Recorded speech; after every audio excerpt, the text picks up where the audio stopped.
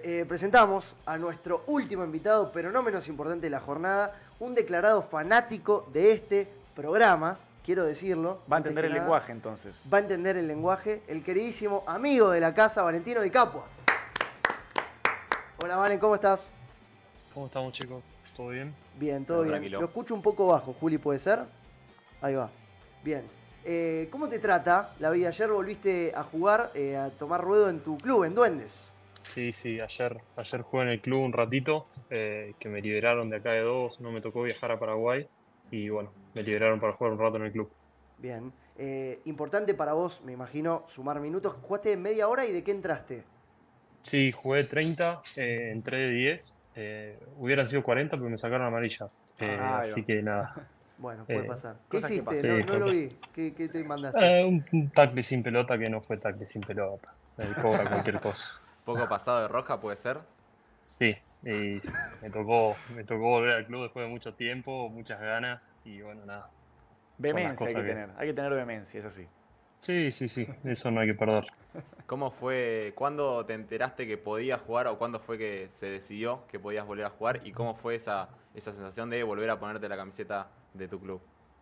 Y eh, me enteré el miércoles cuando dieron la lista, lista del viaje a Paraguay, que los chicos salían el viernes. El jueves teníamos libre y eh, le pregunto al manager, che, ¿puedo jugar con el club? Me dice, sí, tenés la, tenés la posibilidad de jugar. Por un lado, amargo, porque obviamente no, no está nada bueno quedar afuera, lo que uno quiere es jugar el mejor nivel posible, pero por el otro lado, eh, charlé con muchos entrenadores, con mis amigos del club y me propuse disfrutarlo. Dije, lo disfruto porque si no juego para el traste y no, no sería la idea. Total. Y esto se lo atribuís a un buen nivel de tu competencia, que es jodida, la verdad, tenés dos aperturas muy buenos adelante también. O, o vos personalmente estás pasando por un momento especial, eh, por algo en específico. No, no, eh, creo que eh, la competencia es muy buena. Tengo dos jugadores que la verdad los respeto bastante. Bueno, con Baroño compito desde los 15, 14 años. Eh, son la competencia de toda la vida y a Hernández lo conocí el año pasado y la verdad que es un gran jugador, pero esto creo que va más que nada a decisión de los entrenadores, eh, capaz por el partido o por las semanas que venimos teniendo, pero no. Eh, yo en lo personal me encuentro muy bien y más que nada enfocado en pelear el puesto acá. ¿Y, y cómo te trata la vida profesional? Porque para vos es un, me imagino que es un mundo dentro de todo nuevo, sos joven, está bien, jugaste en Pumitas, seguramente eso ya te fue preparando un poco, pero ¿cómo, cómo te, te va tratando esta nueva vida profesional? Eh, nada, en Dogos y, y- y bueno. Y, Para Camada 2003, ¿no? Camada 2003. Sí, así es, Claro. Camada 2003. 2021. O sea. Sí, ¿se, se te es compleja la vida profesional o la, la vas llevando adelante? Esto, ¿Todo este proceso de Pumitas te ayudó? Sí, la verdad que eh, me tocó vivirlo el año pasado, eh, ya viniendo a dos, eh, estar lejos de casa seis meses, eh, y es algo que se disfruta, también tiene sus cosas malas como sus cosas buenas. en el profesionalismo se busca ganar, se busca desarrollar jugadores cuando sos chico y en otros momentos mm, te dejan de desarrollar y juega el mejor Claro. que es lo que pasa siempre.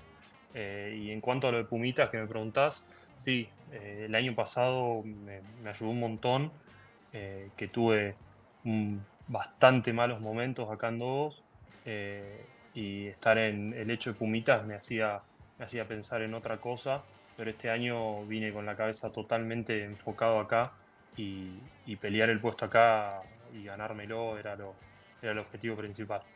Eh, pensando, en, la competencia que mencionaste con Julián Hernández y, y Baronio, eh, ¿cómo te preparaste vos en la pretemporada mentalmente? Eh, ¿Ya te, preparabas, digamos, para, para tal vez no sumar tantos minutos de titular y pelearla ya desde de entrada? Y si estás, te sentís cómodo para desempeñarte en alguna otra posición. Sí, a ver, de arranque siempre me propuse pelear el puesto que me toque. Yo considero que tengo dos buenos competidores, dos muy buenos jugadores, como Julián y como Juan, que la verdad sabía que Julián venía con ventaja, eh, venía de ser el apertura titular todo el año pasado, eh, y bueno, nada, después eh, ir peleando el puesto con, con Juan, eh, nos toca partido titular a mí, partido titular a él, ir al banco a mí, ir al banco a él, y eso es, va cambiando semana a semana. Eh, y va dependiendo de, lo que vean los entrenadores cada uno. Eh, y en cuanto a lo de otro puesto, yo pasé por varios puestos en el seleccionado de Rosario, en M18. Me toca jugar con Juan y me toca que me pasen de fullback. tengo condición física, creo, para jugar, pero no es, el, no es mi puesto natural Después también en, la academia me tocaba, en los interacademias o en los partidos que se hacían, me tocaba jugar de 12 eh, y también, eh, o sea, no, era no es mi puesto natural, pero creo que me tocó cumplir bastante bien.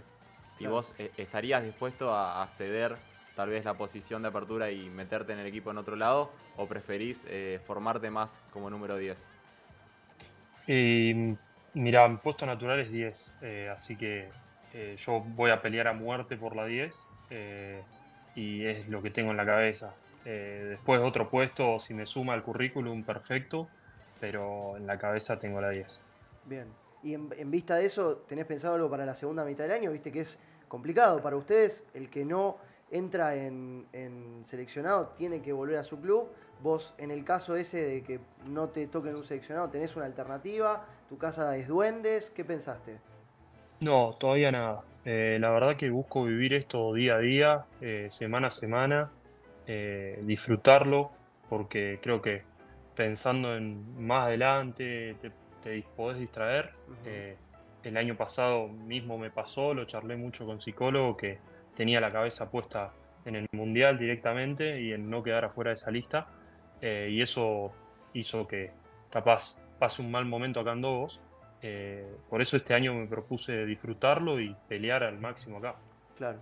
Bueno, eh, justo estuvimos hablando del tema eh, Pumitas y me parece que estaría bueno también conversarlo. ¿Cómo viste vos esa experiencia?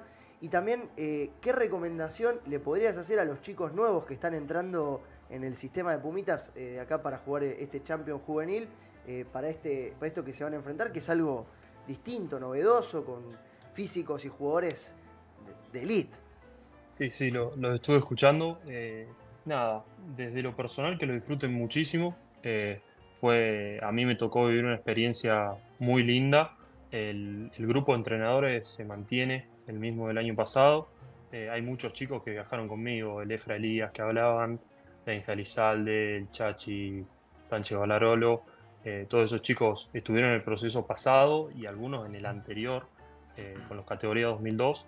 Eh, y ellos eh, son los referentes del grupo, eh, pero a los, que, a los que entran ahora que lo disfruten, no, no piensen en otra cosa. Y, de, digamos, y de tu experiencia, jugadores que destaques, ¿cómo juega, por ejemplo, un Sudáfrica? ¿Qué cosas notaste de diferente con el, ritmo que se juega acá? Y creo que esos, esos, principalmente esos tres países con los que van a jugar ahora están muy preparados físicamente. Eh, son chicos que vienen de tener roce en Crusaders, en Sharks, en Bulls, en Brambis. Son chicos que juegan Super Rugby. El año pasado nos tocó que fuimos a jugar un amistoso con Nueva Zelanda. El Wing había jugado partido en Crusaders. Eh, el Apertura había jugado en Chief. Y así te ponías a ver los nombres y habían jugado en todos lados. Eh, y esa, esa diferencia es muy notoria. Y yendo un poco al, proceso interno, tal vez, de, de los Pumitas. Eh, ¿Es duro el proceso? ¿Realmente los, entrenan mucho? ¿O tal vez es un proceso tal vez un poco más de adaptación donde ustedes eh, aprenden más que, otra cosa? ¿O, es eh, de alguna manera medio entrenamiento que... es muy físico. Muy físico a nivel que pasás de jugar de tu club a, otro rugby completamente diferente. Y mira, a mí en lo personal me tocó entrar a la academia de la UAR con 15, 16 años, que me acuerdo eh, patente que me agarró Nico Balatro, que era el manager de la academia, me agarró y me dijo, que tu proceso es de acá a tres años, no, no te vamos a apurar, eh, prepararte física, mentalmente para entrenar con los mejores del país y creo que ahí hace bien la UAR en agarrar antes a los jugadores, en ir viéndolos, en ir llevándolos para a futuro formar el seleccionado de los Pumitas.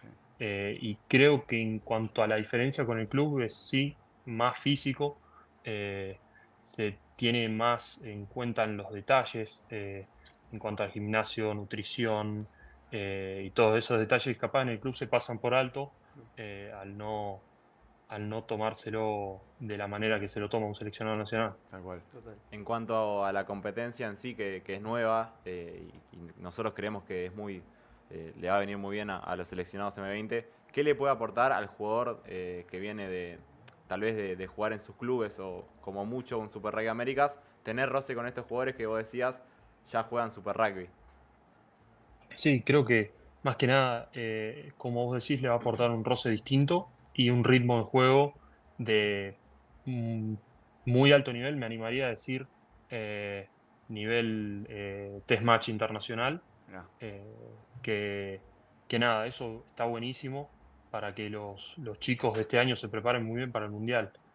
A nosotros el año pasado nos toca recién juntar el equipo eh, cuatro días antes de viajar Claro. eh, porque muchos involucrados en Super Rugby, final de Super Rugby, Pampas que los libera tarde, eh, dos que estaban en Uruguay. eso creo que fue uno de los factores que nos afectó bastante.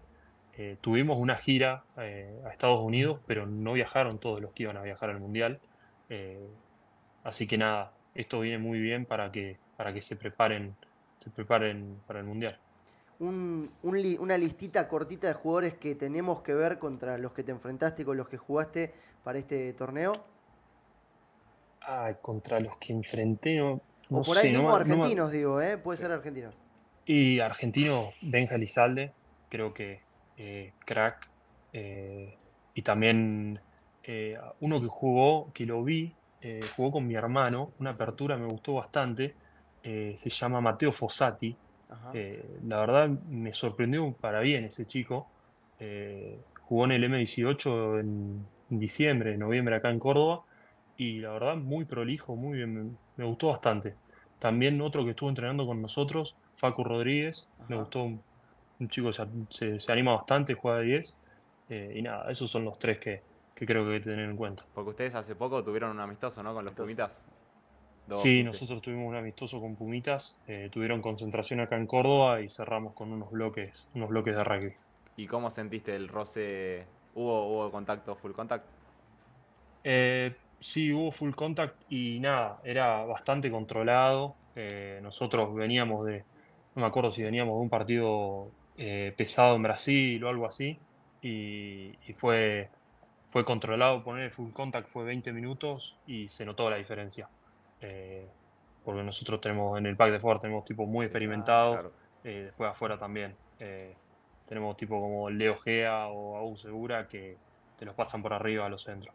Sí, sí. Y- A, y mí eso se nota. Sí, obvio. A mí me intriga mucho cómo es la vida dentro del Mundial M20, porque en definitiva Ah. son chicos de 18, 19 años, eh, tal vez no sé si alguno llega a cumplir 20, pero en definitiva son La chicos... jodita, La decimos. jodita. No, no, no tanto la jodita, sino cómo son las concentraciones. Ah. Eh, si son realmente tal vez los entrenadores o mismo el staff es muy exige, es muy estricto en cuanto a tengo que ir a dormir temprano o hay tiempo para, no sé, salir a visitar, eh, joder también, eh, paviar. No, la verdad que a, a mí me tocó un, un staff que eh, marcaba muy bien los momentos de cuándo era para distender y de cuándo era para laburar. Y el grupo le respondía muy bien a eso. Eh, creo que eh, era algo que eh, estaba bien marcado, qué sé yo, un día libre era día libre, totalmente libre. Ni la ropa de, ni la ropa de pumitas tenías que usar. Claro. agarrabas, hacías lo que querías, podías ir eh, a pasear, podías ir al shopping. eh, un día eh, post Sudáfrica, me acuerdo, después de haber perdido con Sudáfrica, agarraron y dijeron, vamos a la playa. Y fuimos a la playa, estuvimos todo el día en la playa. Eh, en eso eh, se encarga muy bien el staff de, de manejarlo y es un mes que estás viendo las treinta y pico de caras todos los días, Mm. eh, que estás en el mismo hotel, que se te puede hacer pesado, que se te puede, eh, te a- aburrir, pero eh, creo que el año pasado me tocó vivirlo de una manera muy linda y, y el staff se encargó de que no sea pesado para nada, de que no te quieras ir. Claro. Eh, era la verdad, eh, no, no nos queríamos ir, estábamos ahí un grupo de 30 amigos que quería quedarse. A mí me interesa mucho eh, cómo es el post M20 por categoría, porque viste que tenés hasta los Pumitas hasta M20 y después como que ya sos mayor. Sos Puma ya. Sos pu- o sea, Sí, sí, tenés que lo que Puma. le tenés que apuntar es a los Pumas. Eh, ¿Cómo lo viste vos internamente? O sea, en ese clic de ya no soy más juvenil, ahora soy un jugador mayor? A mí me tocó eh, una transición bastante, eh, bastante buena. Eh, post mundial eh, me toca ir al club, jugar con el club, torneo del interior. Me tocó una concentración Seven que no, no llamó mucho la atención, pero después de eso, nada, ver si queda en franquicia, ver si te siguen teniendo en cuenta acá. Puede ser en cierto punto un poco duro, pero, pero sabés si haces bien las cosas, eh, podés seguir en carrera. Obviamente hay que ir paso a paso. Eh, eh, primero está la franquicia, después ver qué se viene más adelante, si seleccionado nacional, la Argentina 15 o lo que sea. eh, pero es ir paso a paso, que, que ya sabes que no sos M20 y entras en el pelotero de, che, te toca y tenés que ir. Claro. Bueno, eh, quería confirmar eso de si había sido la concentración de Seven. ¿Cómo te llevas con la disciplina? Porque puede ser otro, otra beta interesante para explotar.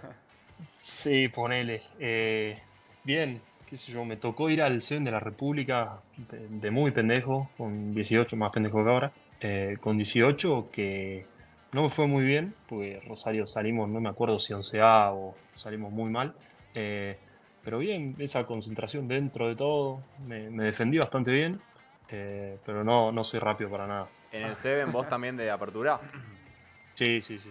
La apertura, pateo la salida, todo. Me quisieron poner de pilar una vez, le dije no, deja, yo no juego de pilar, y ahí me sacaron. Firme. Sí, sí, sí.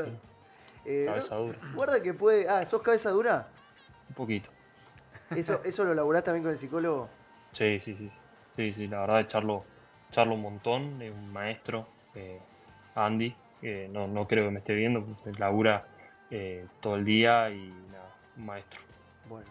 Bueno, Valen, muchas gracias por venir, muchas gracias por ver el programa. Esto fue express, porque yo vi Sí, el live. express. Regalale esta. Bueno, Viajando. sí, a ver, me- sí, me encantaría que juegues en Porredón, pero yo, yo te veo muy contento, Duendes. O sea, Sí, que sí, vengas sí. un día a la prevé, a la preá de Porredón, jugamos un Sí, capaz. poquito. O sea, yo tiro online, Agus hace medio crown y bueno, vos de apertura. Bueno, yo juego de 10. Y Ahí sí, nos cagamos de risa un rato, ganamos por 50 Mientras me dé la patada a los palos, está todo bien. Sí, te damos todo. La patada donde quieras. Me volvieron a excluir a mí. Sí, pero vos jugás en primera. Pero un partido con Vale. Bueno, bueno, que 10-12. quiere- Pero va a tener que pagar derecho de piso él. O bajate vos, Claro. bajate, aceptá y bajate. No, no quiere. Bueno, vale, muchas gracias por, por venir, muchas gracias por, por vernos también, por bancarnos y obviamente también la invitación para vos de esa silla en algún momento cuando estés por Buenos Aires para, para venir al programa. Bueno, dale, gracias chicos, y gracias por la buena onda y nada, sigan metiéndole que los vamos a seguir siguiendo acá. Bueno, muchas gracias. Ahí pasaba Valentino y Capua, este, actualmente apertura de Dogos y de Duendes.